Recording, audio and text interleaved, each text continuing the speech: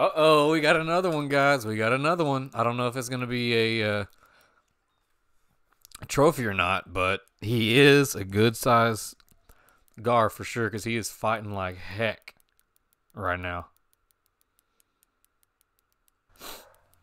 Come on. All right. Okay. All right.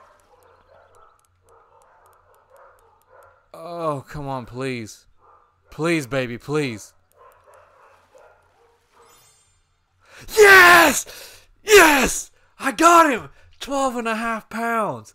Holy cow. Guys.